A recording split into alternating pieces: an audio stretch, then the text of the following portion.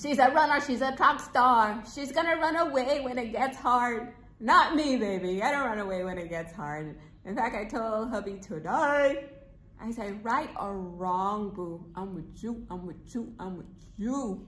So I want to be God's rock star here, telling you guys that that's the hard things that God is calling us to do. You know, this love and the loyalty, he wants us to tie it around our neck, guys.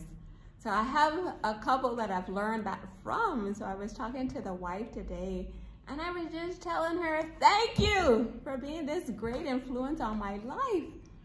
That I will stick with this loyalty, whether there's love there or the love can go and come. But the loyalty, guys, that's where I want us guys. Loyal and faithful and dependent and devoted and committed people on behalf of God. Like I just want to be this billboard for God, for this God who shows up for me and just shows me such love, such attention. Like right after that conversation with my sweetie pie, right before we ended a conversation, I always tell her, I say, we're together, we're together, boo. And can you believe, like I just said, let me stop and have an appointment with God right after speaking to her. And so I had ran at that point 0.91 of a mile. So I went to page 91 of our family website. And after telling her that we're together, this showed up. Can you guys see it? It says, you've got this. Never doubt your ability to persevere through hard times. We're in this together. And that was just like my little wing from God, guys. Somebody's calling me. That what I'm telling her that we're together, like God joined in on our conversation. Yes, Nick, we're, me too. I'm in here with you guys. We're in this together.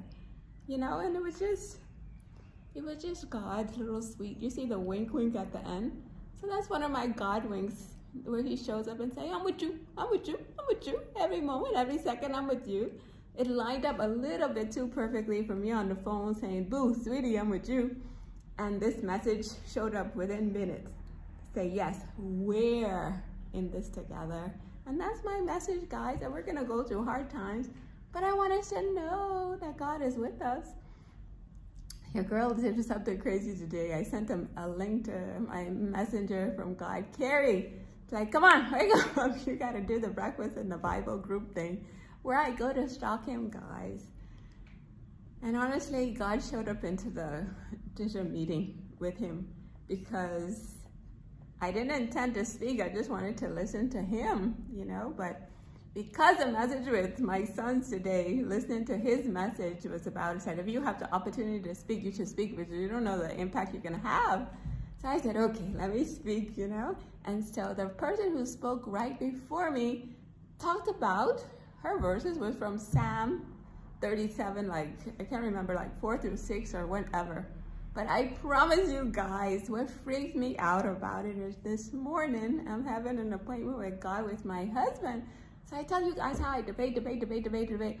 Because I only have a little short little time with hubby. Is he doesn't interested in my stuff. So I only have a little short little window of opportunities and I want to make it count like God, where do you want me to go for this appointment with hubby today? And I promise you, promise you, promise you that this showed up. It says, don't divide up your life. Trust in the Lord and do good. So that was the glitch, like on my phone, it just boom, went to that date. I said, okay, God, that's what you want me to read for the appointment with God today. And can you believe the person right before me, speaking in this clubhouse group where I go to stalk Carrie, said exactly the same verse. And it just, just, again, the alignment was too perfect to say, oh, that's just a coincidence, Nikki.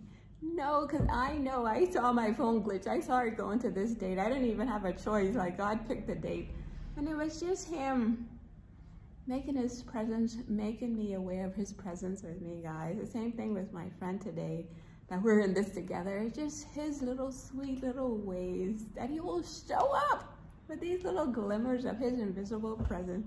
And there's no way of all the things of verses for her to read right before I spoke was the same exact verse that I had with hubby today. It's just God, guys, and I want you guys feeling his presence. So when he asks us to do hard stuff for him, we say, no problem, God. I got you. I got you. I got you. I got you. Okay? Like yesterday, I started a video with the little Kim song from the Gemma said, I'm the one who put the range in the rover. Can you believe me and hubby had the nicest time yesterday evening driving around together in a Range Rover? And honestly, the love and attention that he put into his family, guys, I just say God. God, God, God, God, God. Thank you. Thank you for this gift. And nobody gets it right all the time, guys. But Carrie's just been my influencer, just teaching me that we gotta love others and we're gonna love them unconditionally. And we're in the message from him today like, look, you don't pay evil for evil. You know, you repay evil with good. And that's where I am, guys. So Carrie talked about being intentional. So I'm going to be intentional in being more loving to this husband who goes the extra mile for his family. And even my sons today, my Emmanuels, I sent them a message. They're my accountability coaches that are making me so happy. So I say, boys, what can I do to make you guys happy? And I sent out to the store for some things that I know that they enjoy so much.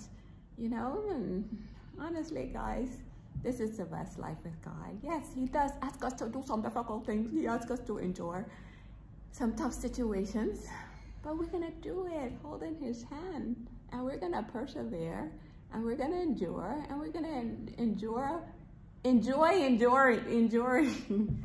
you guys got that? We're gonna enjoy enduring because we know that God is the one helping us. Like He's carrying the heavier parts.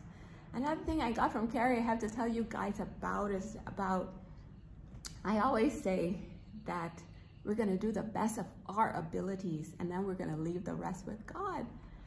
So yesterday I was having this little talk with my cook, Victoria. I said, you know, we can't just pray. And you say, no, you got to put work into it too. You just don't leave everything for God. And I say, yes, Victoria, we're going to do the best of our abilities and we're gonna leave the rest with God. And I just got a little wink from God listening to Carrie, and Carrie recorded this this messages this message from so long before I even met him. So for him to use that very term to the best of your ability and then leave the rest with God, which is God saying, Yes, Nick, this is what I require of you. You'll be the best. And just leave the rest of me. Whatever you can do on your part, you be that. And just let me handle the difficult parts that are going on. So this is where I want you guys. Trusting God and doing good. Knowing that he's with us, he's for us, he's by our side. It's just for us to keep showing up, showing up as our most loving selves, merciful selves, trusting in God's selves, just knowing that he got our back, God. And in any difficult situation, no problem. God got us. Okay, guys? So when the troubles and stresses want to overwhelm us, just remind yourself, I'm trusting in God. Even if we have to say it a million times a day, God, I trust you. God, I trust you. God, I trust you. Let's just do that and just keep doing everything, everything for the glory of God.